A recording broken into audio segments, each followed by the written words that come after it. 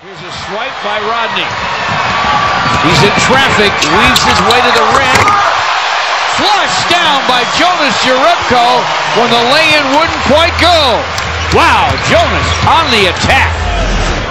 Look at Rodney Stuckey. I don't know how LeBron didn't block that. But he didn't. And Jonas took care of the rest. Gotta love what you see from Jonas Jerebko.